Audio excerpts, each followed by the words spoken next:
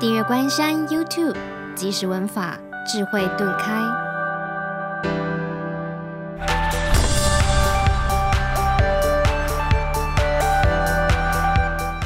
第四项是见合同解，解的就是见解的意思，就是看法、想法了。看法有大，哦，大的相同，小的相同，嗯。但是呢，在僧团你要尊重别人的想法、别人的说法、别人的意见，我们的也可以表达。那大家用公平公正心来看，怎么样是最正确、最好的抉择？啊，所以呀，很多人他生活的环境，他觉得我生活环境都很没有公平、公很没有公义，这个地方我待不下去。僧团它是还有一个佛法做最后仲裁的地方。有的时候社会上连法律都不见得公平啊，很多人都在那边抱怨嘛，对不对？在僧团，你还有佛法做仲裁，而且这个只是初修。这个世界要找到绝对的公平，那唯有从你的心下去下手。你的心看什么都是圆融，什么都是公平，都没问题了，就是心无挂碍。一切都圆融无碍了，你唯有就反求自己的自己的自心呢，从自己自心下功夫。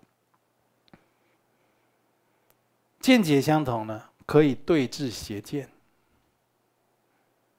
你看呢，我们跟这个没有学佛的家亲眷属、亲戚朋友聊天一下，你受得了吗？你要包含他很多事情，他动不动就开始回谤三宝、回谤佛法，对不对？离开了，那那。这个毛病不是世间人有啊，出家人都有啊。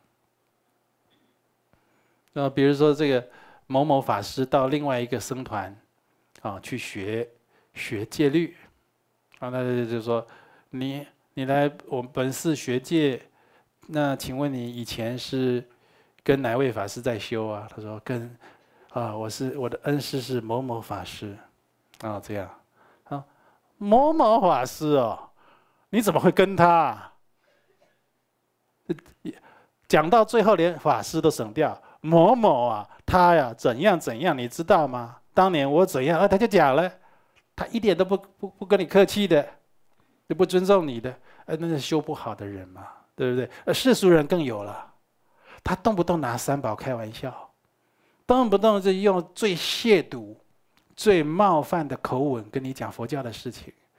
那听到你又是修行在吃素，哦，他就觉得你你是外星人，哦，等一下准备要怎么样来讲你，怎么样来哦哦小心的试探你一下，怎么样会来讥讽你，或者来给你洗脑说，哎，其实你不必这样啊，你大概就是宗教狂热吧，等等的。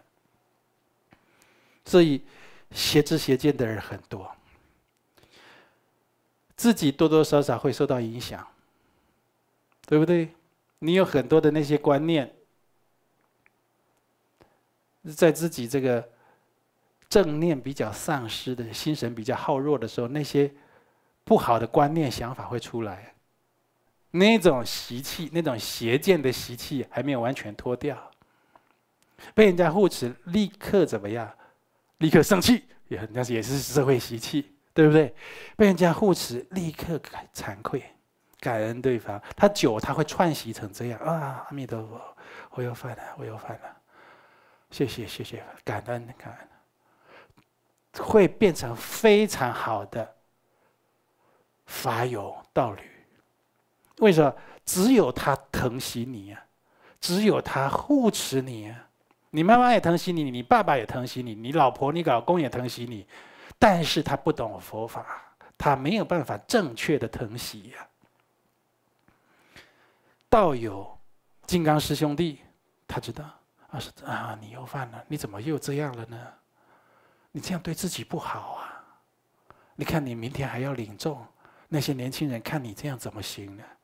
哎，你老公会跟你讲这样，那他真也是菩萨。哎，你爸爸会跟你讲这样，那他就是有修嘛，对不对？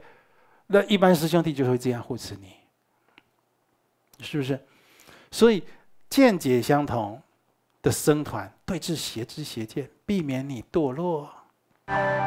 点选右下角订阅观音山 YouTube，开启小铃铛，就能收到最新开示与直播通知。